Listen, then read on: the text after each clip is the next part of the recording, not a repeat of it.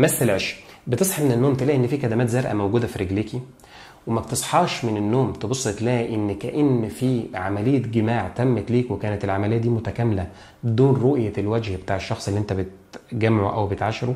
كذلك أنت أيضا ما بتحسيش إن في خرابيش في مناطق متفرقة في جسمك. طب أثناء نومك ما بيحصلش إن في نفس بيكون جوار منك والنفس ده تحس كأن حد حضنك من الخلف؟ وانت كذلك ما بتحسش أحيانا وانت نايم إن في حد بيحتضنك أو إن في حد بيحاول إن هو يلمس جسمك وانت نايم. طيب الشعر ما بيكونش فيه تساقط. كذلك أيضا الأحلام اللي بتتم ما بتشوفش في أحلامك مثلا إن في كلب أسود بيجري وراك وبيحاول إن هو يعضك ثم بعد ذلك تبص تلاقي إن في حد بيدافع عنك في قلب المنام وبيحاول إن هو يحميك من الكلب ده. أو بمعنى صح ما بتشوفش المحارم في منامك. على سبيل المثال تشوف مثلا إنك أنت بتعاشر أمك أو أختك أو امرأة ما تحقش ليك كذلك ما بيحصلش معاكي نفس الأشياء ديت. كل ديت من الأعراض أو العلامات اللي بتدل على مس العش. فتعالى إن أنا هكلمك باستفاضة عنه وعلاجه بالمسك وعلاجه بالزيت. الزيتون أو زيت حبة البركة كما تشاء. فصل على النبي صلى الله عليه وسلم ودوس لايك وشارك المقطع ده لأصحابك وأصدقائك. أول حاجة عايزك تعرف إن العلماء كلهم ما نفوش إن بيحصل مس عشق للإنسان. وربنا سبحانه وتعالى وضح ده في القرآن الكريم.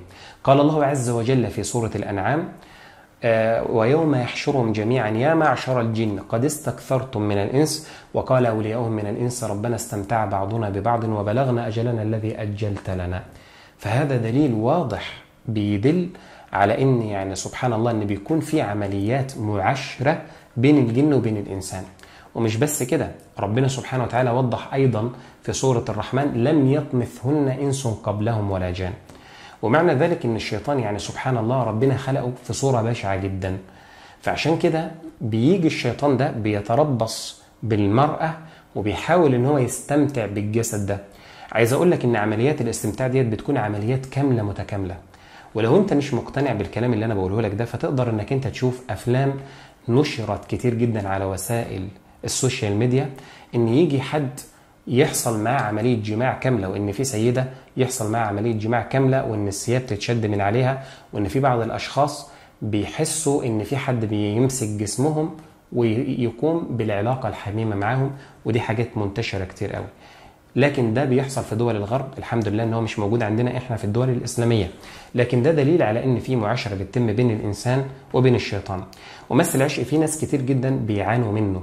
خصوصا إن الشيطان بيجي مثلا للإنسان اللي بيكون ضعيف بمعنى بمعنى إن هو مثلا ما عندوش أوراد أو أذكار بيقراها في الصباح والمساء. ومعروف إن الأذكار ديت هي السلاح الوحيد اللي بتحميك من جميع الشياطين. ايا كانت قدرة الشياطين ديت. لذلك ابن القيم يقول إن الأذكار عبارة عن حصن حصين وإن الأذكار طالما إن الإنسان بيقرأها بتكون عبارة عن إن الإنسان ده موجود في قلعة والقلعة دي من حديد لا يستطيع أي حد إن هو ينفس خلف جدران هذه القلعة وده اللي قاله عبد الله ابن ابن عمر. فعشان كده أنا عايزك تركز معايا. أول حاجة عايزك تعرف إن مس العشق وعملية المعاشرة ما بتجيش كده من أول مرة لا ده الشيطان بياخدها تدريجيا. وده اللي بيحصل معاك ولا لا وعايزك تكتب لي في الكومنتات.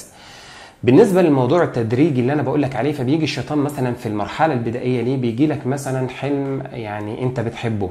زي مثلا شخصية معينة أنت بتحب إنك أنت يعني نفسك تجتمع بيها أو نفسك إنك أنت تشوفها في الحياة الواقعية. فبدون سابق انذار بتبص تلاقي إن الشخصية ديت متصورة قدامك وموجودة فعلا وتقدر إنك أنت تجتمع بيها في أي وقت وتقعدوا مع بعض. ومش بس كده تيجي بقى الأحلام بعد كده تختلف. بمعنى بمعنى إن ممكن مثلا الواحد يشوف إن هو بياتي محارمه أو بيجي لحد من أهله وده طبعا الشيطان بيعملها عشان يشوف مقدار إيمانك إيه.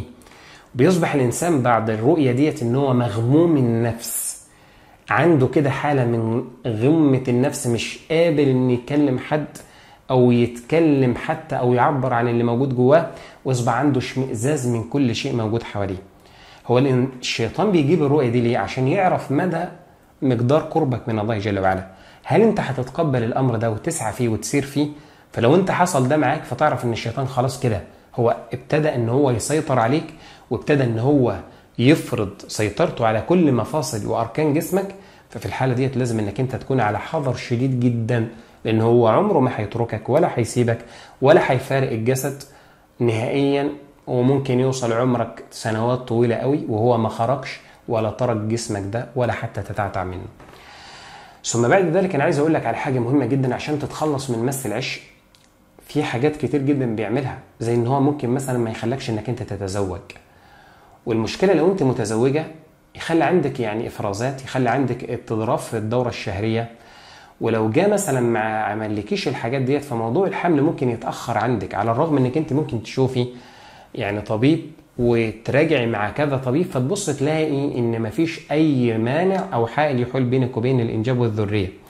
وللأسف الشديد في بعض الأشخاص بيكونوا بيعانوا من مس العش ومش عارفين إن هم عندهم مس عش والبعض الآخر ما بيقتنعش بالشيء ده. لكن ربنا سبحانه وتعالى بيقول في كتابه الكريم كلا إذا بلغت التراقي وقيل من راق. فتأمل كده إن ربنا سبحانه وتعالى وضح الشيء ده في كتابه.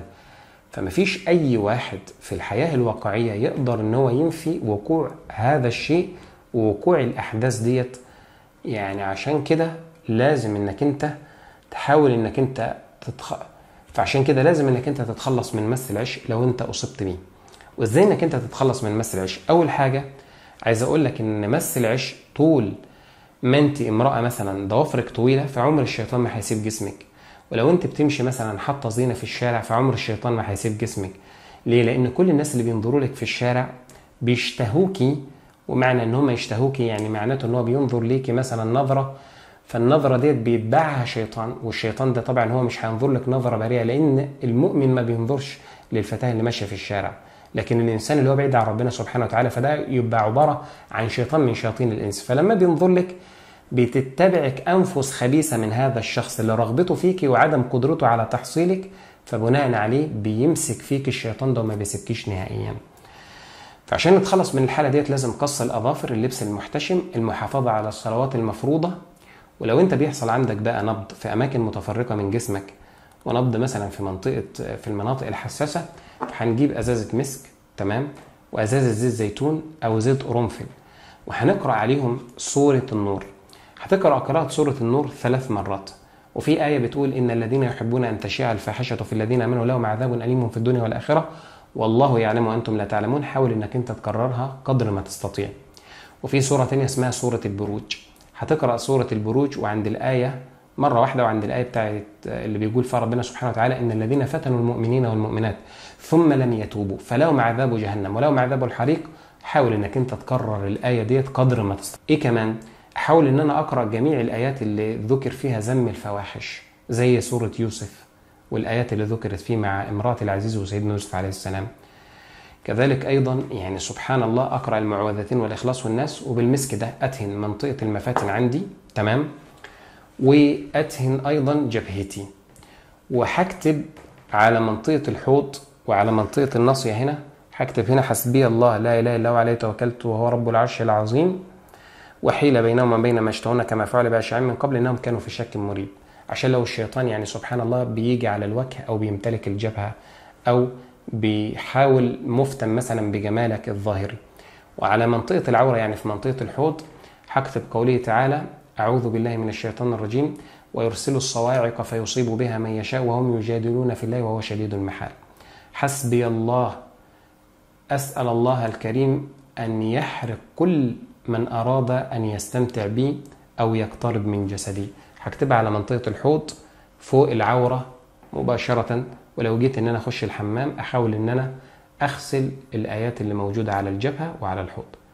سبعة أيام بالظبط هتختفي جميع الأحلام اللي هي فيها تحرشات جنسية وهتختفي جميع أعراض مس العشق منك.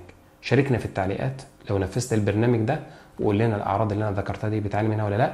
وشارك المقطع ده لأصحابك وأصدقائك فالدال على الخير. كفعل دمتم في أمان الله. والسلام عليكم ورحمة الله وبركاته.